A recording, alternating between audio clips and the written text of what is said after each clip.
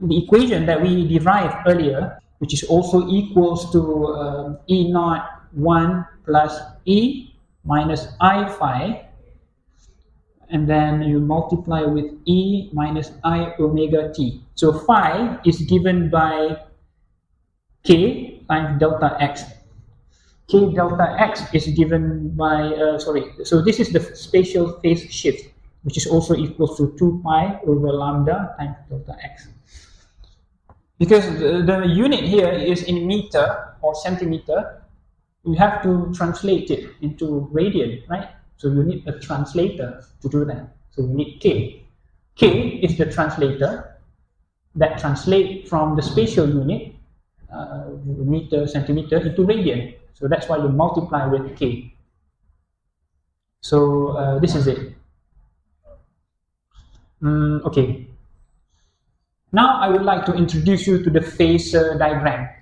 Phasor diagram.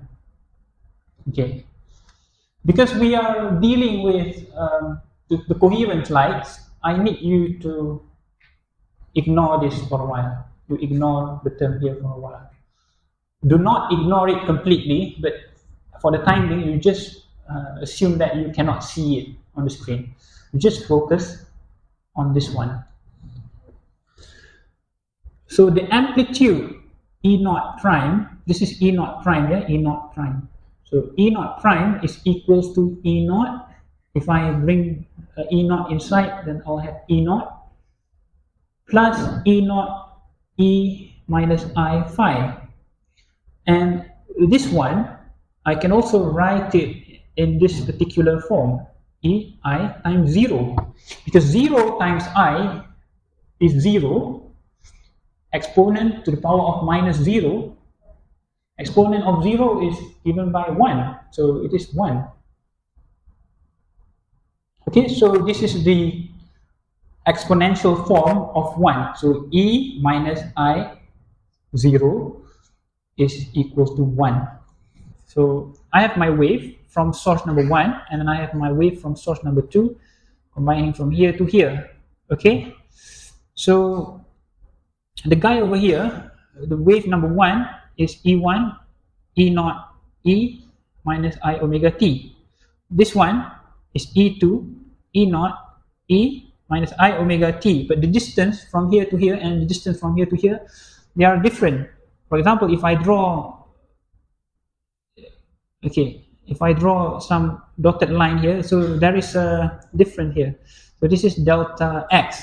So I have to I have to minus 5 minus 5 here so here will become plus sorry plus yeah plus I have to add 5 so that I will take into account the delta x so delta x multiplied with k it's given by 5 so phi is in radian so now this one um, there is no phase shift so phi 1 is equal to 0. This one, this is number 2.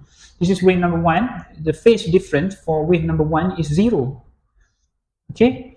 Because this is the, um, we are doing this uh, with respect to wave number 1. So that's why we, we just take uh, the phase difference of S1 as 0. So the phase difference of S2, the wave coming from source number 2, is given by um, phi, which is k times delta x. Okay, so the phasor goes like this. If I draw my Argand diagram, Argand diagram, this is imaginary, this is the real part.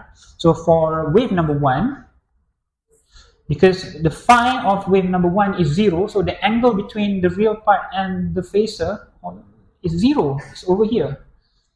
So what is the length of my phasor? Can anybody help me? Just to see whether you guys understand it. E naught. Yeah, E naught. Nice. Very clever. Okay. Uh, and then I have another phasor. Let me draw this in red color. So the, this is the blue one. This is the red one. So here, the angle, if I dissect this, if I put this inside, E naught, E minus I omega t times E minus I phi. Am I right? Okay. So the angle should be uh, minus phi. So my phasor should be going down here because it is minus phi. So the angle, you know, the angle should be from here to here, from here to here. This is negative, this is positive. So the angle is negative. How about the length of my uh, second phasor? E naught, yeah, because uh, the amplitude of uh, the second wave is E naught. So if I draw the resultant vector from here to here, okay, the amplitude, this is the amplitude of wave number one from here to here. From here to here is the amplitude of wave number two. So both of them are uh, E naught. But the amplitude of the resultant wave is the length of the resultant vector. So you have to use your uh, whatever mathematical uh, mathematical skills that you, that you have in order to find the length of this one. I'm just using the component. So the x component, x component. So for wave number one, what is the x component? This is the, for the blue phasor. Because it is pointing towards in the same direction uh, with the x component. This is the x component, this is y component. So it is E naught, E naught, and then you add with the x component of your second phasor.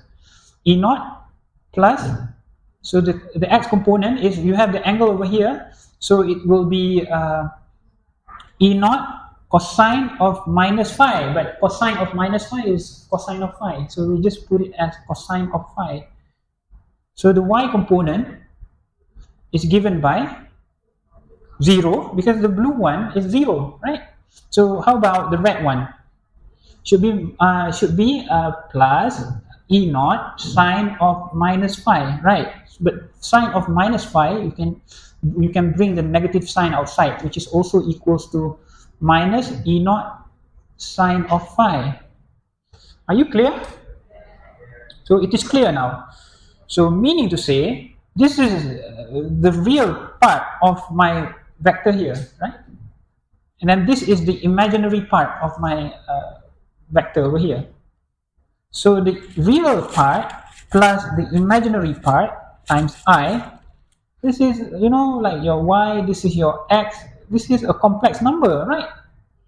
So if I put them together, e naught plus e naught cosine of phi, this one, plus my imaginary plus my imaginary component which is minus e naught sine of phi. And then I put my imaginary number here.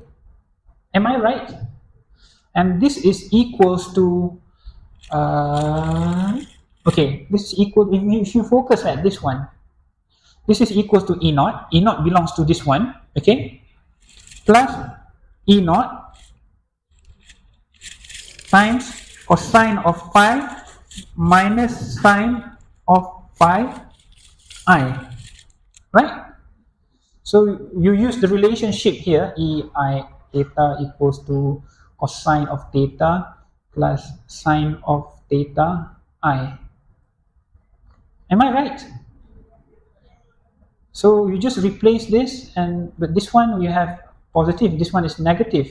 So should be um, E naught plus E naught E minus I phi which is also equal to E naught 1 plus E minus I phi. Hmm. Isn't it the same with the previous one? If you use uh, the method here, the same one, right?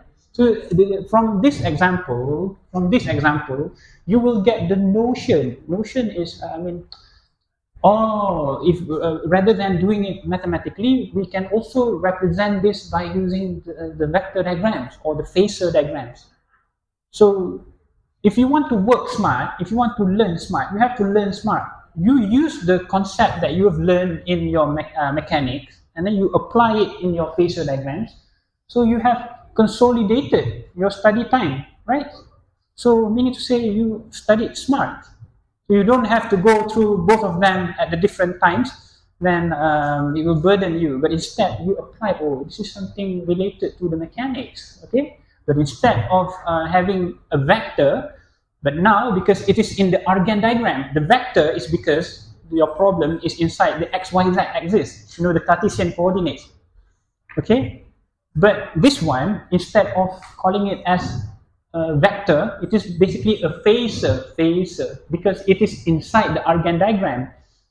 But the idea is the same, just like the vector addition.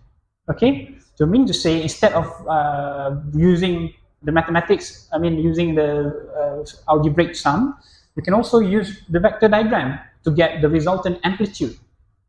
Doctor, I think it is easy because we have two waves. Then why don't we just add them together so I can do this, I can do this, do this easily instead of having to draw the diagram over here? Well, of course, you only have two waves.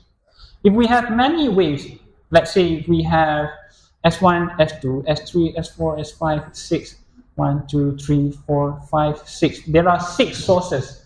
And then uh, this is your point P. And then this guy is, is, pointing towards this direction, this guy towards this direction. Uh, the line here is the light beam, yeah? Light beam is pointed towards P. Light beam from source number 2 is pointed towards P. Another light beam towards P. Are you going to deal with the addition of the six uh, wave functions? No, it is complicated, my friend. It is complicated. That's the reason why uh, you for for this example, if I draw the Argand diagram, this guy and this guy. Okay, for vector number one, I'm I'm doing this with reference to source number one. So we assume that the phi for wave number one is zero and then uh, this is wave number one. And then you have to find out the phase difference for source number two and the phase difference for source number three, number four, number five, number six. Because the, because the distances are not the same, right? This one is shorter, this one is uh, longer, even more longer, longer, and even longer. This one is the longest one. The distance from here to here is the longest one compared to this one to this one. So if I draw this, this is wave number one, this is wave number two, this is wave number three, this is wave number four, this is wave number five, this is wave number six, for example. So the resultant amplitude is given by this one. So you do the vector addition to find out the components of my resultant uh, phasor over here. And then the length of that resultant phasor is basically the amplitude of your resultant wave. But now your amplitude is a complex number. So in reality, you the, the magnitude of the complex number is what you see in real life.